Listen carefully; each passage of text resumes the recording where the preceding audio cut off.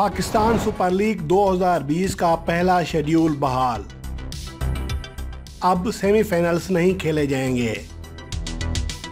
دو ٹیموں کی لاٹری نکل آئی۔ تفصیلات اس رپورٹ میں جانیے۔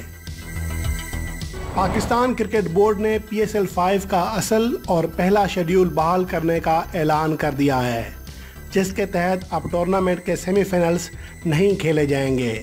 بلکہ پہلے سے طے شدہ فارمولے کے مطابق ایک ایلیمنٹر میچ اور دو پلے آف میچز کے علاوہ ایک فائنل میچ کھیلا جائے گا۔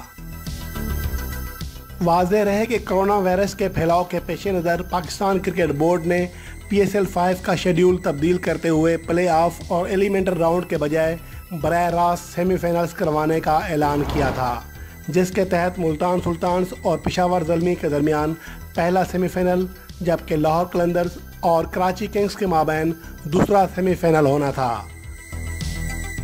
تاہم، کراچی کنگز کے غیر ملکی کھلاڑی الیکس ہیلز میں کرونا وائرس کے خدشات کے پیش نظر سیمی فائنل سے محض اڑائی گھنٹے پہلے ہی پاکستان کرکٹ بورڈ نے ان مقابلوں کو اچانک ملتوی کرنے کا اعلان کر دیا تھا۔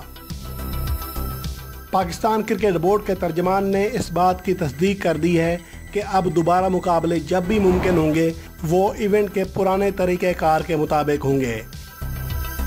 اس کا مطلب یہ ہوگا کہ پہلے نمبر پر موجود ملتان سلطانز اور دوسری پوزیشن حاصل کرنے والی کراچی کنگز کے پاس فائنل تک رسائی کے لیے دو مواقع موجود ہوں گے۔ ملتان سلطانز اور کراچی کنگز آپس میں ایلیمنٹر میچ میں آمنے سامنے آئیں گی۔ اس میچ کی فاتح ٹیم براہ راست فائنل کھیلے گی۔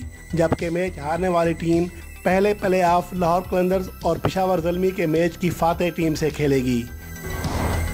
اس دوسرے پلے آف میں جو بھی ٹیم کامیابی حاصل کرے گی، وہ فائنل کے لیے کوالیفائی کر جائے گی۔ واضح رہے کہ پاکستان سپر لیگ دو ہزار بیس کا راؤنڈ مرحلہ مکمل ہو چکا ہے، جبکہ دوسرے مرحلے کے میچز کا شیڈیول کرونا وائرس سے نمٹنے کے بعد دستیاب ونڈو دیکھ کر ہی جاری کیا جائے گا۔ اور یہ ممکنہ طور پر رواں سال کے آخری چار ماہ کے دوران ہی ممکن ہو سکے گا۔